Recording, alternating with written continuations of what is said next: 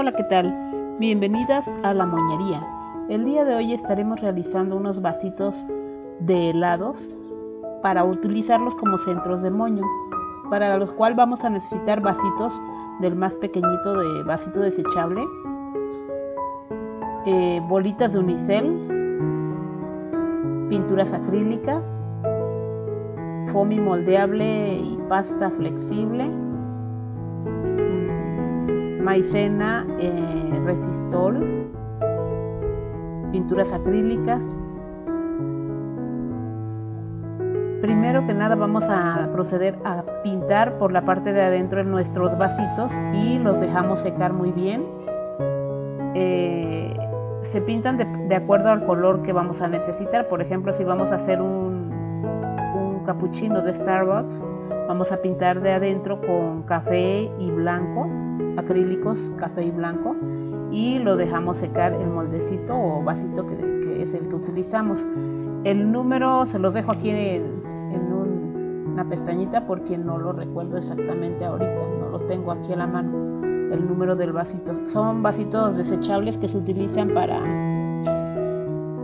para tomar rompope o para tomar este para colocar también las, las, este, las salsas, salsa catsup y eso que, a veces nos dan en los super, ¿verdad? Estos son los vasitos. Ya este ya lo coloreé, ya lo pintamos con pintura acrílica blanca y ahora yo utilizo eh, un sobrantes de, de unicel. Voy reciclando de unicel que encuentro lo voy guardando y con, con este, estos pedacitos de unicel lo relleno para darle Mm, como que mayor fuerza al vasito, no quede tan frágil. Va relleno con, con pedacera de unicel. Y eso le hace que no pese mucho y al mismo tiempo que esté un poquito menos frágil mi vasito, que no se este que al momento en que lo aprieten no se no se arrugue, no se doble, no se no se quiebre ya que están rellenos todos los vasitos, yo les coloco la media media bola de unicel aquí arriba para formar el topping de nuestro helado. Eh, en este caso son bolas del número 2, así las pides en la papelería, número 2, y partidas a la mitad. Yo nada más las corto a la mitad y las coloco aquí con silicón caliente, se las pego a los vasitos en la parte de arriba. Algunos bolita, otros no, otros nada más llevan su tapaderita, depende del modelo, ¿verdad? Yo aquí voy a hacer unos eh, vasitos de, helado de Kinder Sorpresa, otros de Gansito. También me pidieron unas sopas Maruchan. Van a ver cómo están por aquí las etiquetas.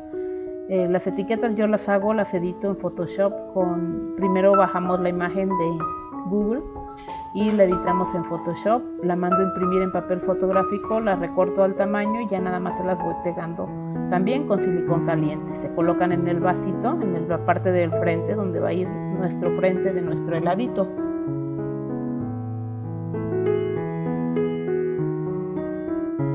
Eso es todo lo que hacemos y por ejemplo el que es el lado de sabor gansito, pues le vamos a colocar el topping de chantilly blanco con, con chocolate y mermelada de fresa que vamos a simular con pinturas acrílicas. Para el topping yo, yo hago una mezcla, una combinación de resistol, pegamento blanco, eh, puede ser del, del Comex artesanal o cualquier pegamento blanco escolar que ustedes consigan. Eh, lo combino con con maicena blanca, maicena también o fécula de maíz.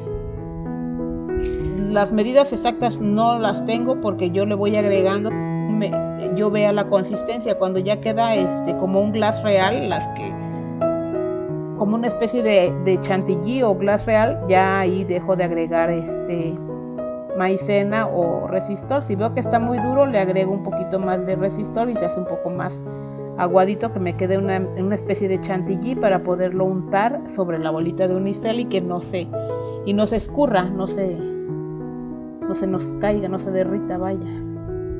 aquí le estoy colocando un poquito más de resistor porque le hacía falta.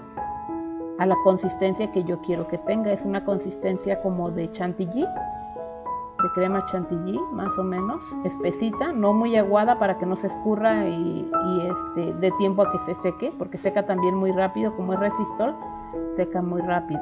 con el aire seca muy, mucho, muy rápido. Entonces este, no le agregamos nada de agua. Yo le pongo un poquito, una pizquita de óxido de zinc, porque para que le dé el color más blanco, todavía más intenso y no quede este por si mi resistor está un poquito amarillosillo el, óxido de zinc le da la consistencia o la pintura queda queda muy muy blanco y no le agregamos agua porque si le ponemos alguna acrílica eh, blanca más aguado. Entonces yo lo que, aplico es el polvo. Si ustedes lo, colocan siguen pues se lo ponen y si no pueden poner una pizquita de pintura acrílica blanca. Eso es nada más para que le dé la blancura. Ahora aquí improvisé con una bolsa, una especie de duya.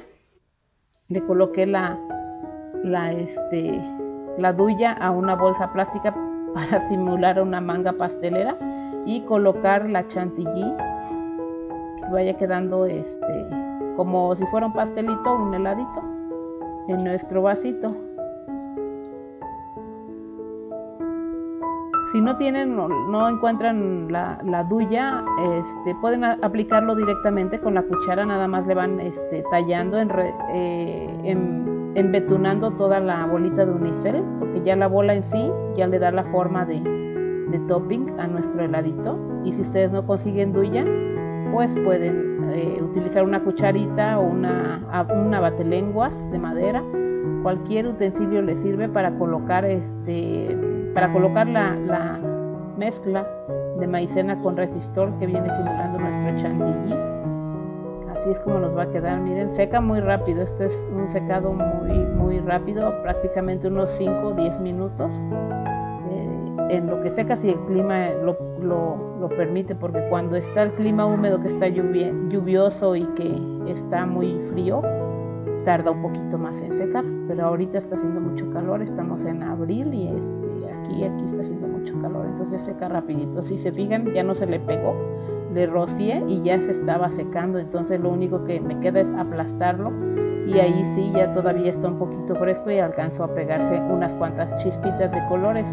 Los chochitos de colores eh, le dan nada más un plus a nuestra decoración. Si ustedes los tienen pueden agregárselos y si no pueden colocarle nada más eh, pintura acrílica mezclada con... aquí yo combiné una gotita de silicón frío con pintura acrílica café y voy a simular como si fuera un Hershey's, un chocolate que está eh, derretido encima del helado o mermelada igual pueden mezclar eh, un poco de silicón frío con pintura roja, acrílica roja, y ya les da la, especie, la impresión de como si fuera una mermelada. Eh, las medidas exactas no, no tengo porque todo lo hago al tanteo y, según a mí me gusta el color que va quedando, así lo dejo. Miren, así es como va a quedar nuestro heladito de McDonald's, creo que es esta etiqueta ya nada más coloco un, popotito. Estos popotes los venden en las tiendas de, materias primas para hacer paletas de chocolate, si lo pueden pedir. Y, este, son plásticos. Ahora, de fresa, fresa con, fresas con crema, de Starbucks fresas con crema o de cualquier, cualquier personaje, cualquier etiqueta, ustedes la pueden convertir en heladito. Y aquí estoy haciendo uno de fresa con fresas con crema porque es color rosa con blanco.